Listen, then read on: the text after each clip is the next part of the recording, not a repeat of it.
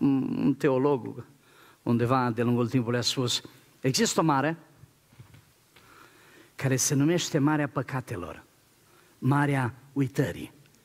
Și Dumnezeu a pus acolo o pancartă. Pescuitul interzis.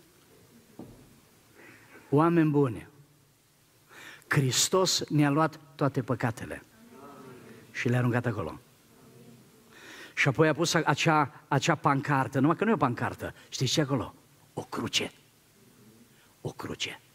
Care face separația între ce? Viață și moarte.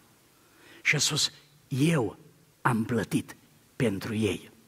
Tot ce trece de aici încolo, nimeni niciodată nu mai poate lua. Pentru că eu am plătit pentru ei.